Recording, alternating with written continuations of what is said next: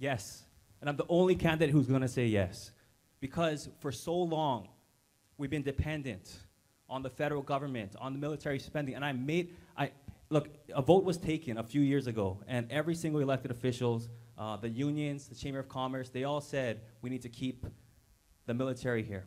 It was a, a reduction proposed by the Pentagon in order to make us safer, but I was the only legislator, the only elected official who said, no, it's a good idea. Our three biggest, most polluted areas are on bases right now, EPA Superfund sites.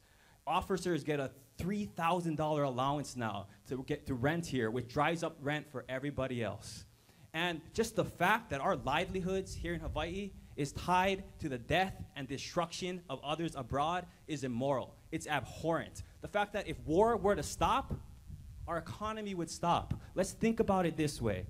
Because when World War II was happening, maybe it was a good idea. Yes, we got to protect our nation, um, build up our economy, but now we need to move beyond that. So many wars, whether it's in Afghanistan or Iraq, it's just causing indigenous people like us, like us Native Hawaiians, to be displaced from their homelands. And it's not right.